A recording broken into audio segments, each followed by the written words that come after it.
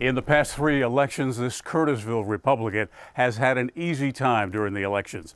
But lawmakers redrew the map, and suddenly Krawiec faces a tough race.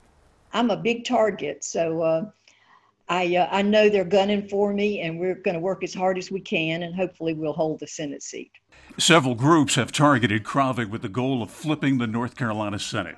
Throw in a few more Democrats thanks to redistricting, and a challenger with money. Her opponent, Terri LeGrand, has raised nearly half a million dollars, and this one time safe Republican seat is suddenly not so safe. Even if they should take over the Senate, my opponent would still be a freshman and would not have any leadership authority for for quite some time and that's really important in the process that happens in the legislature. Krawiec says that experience plus her role in the Senate leadership allows her to influence legislation and get things done.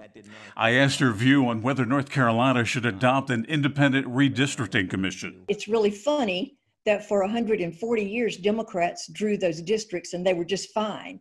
The first time that Republicans had an opportunity to draw them, and they are far better than they've ever been, um, we've been in court the whole time. Krawiec is critical of how Governor Cooper has handled the pandemic. What is it well, that you would do differently? I think we're number 47th strictest on the on the shutdown. Um, that's pretty that's pretty bad. Um, my criticism is that Mecklenburg and Wake are not Yadkin County and Davie County. Um, some counties in the state have had very few cases of COVID um, they should be able to make some decisions on their own. But that didn't stop Krawiec supporters from running this campaign ad. Krawiec worked with Governor Cooper to pass a bipartisan coronavirus recovery plan. Small business loans to keep people working. Millions for face masks and gloves. Expanded COVID testing. Krawiec says the pandemic has not changed her view on Medicaid expansion. She still opposes it. The biggest difference between you and your opponent?